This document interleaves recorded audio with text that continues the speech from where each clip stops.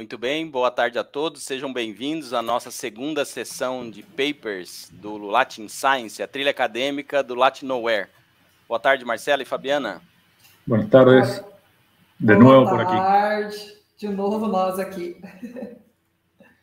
Nós já estivemos aqui hoje pela manhã numa longa sessão onde apresentaram-se os trabalhos, os short papers, né? Foi muito rico, estávamos conversando um pouco sobre o alto nível dos trabalhos que foram apresentados eu vejo que a gente está com uma dificuldadezinha aqui no nosso compartilhamento, só um minutinho que eu já vou voltar. Mas, enfim, agora à tarde a gente vai ter então os full papers e de manhã já foi riquíssimo.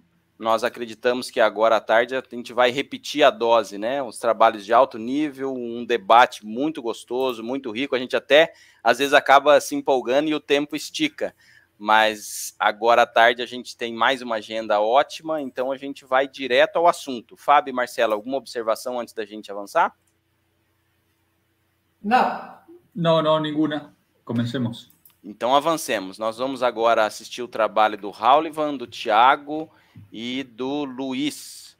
É uma estratégia para identificação e extração de dados de patentes brasileiras.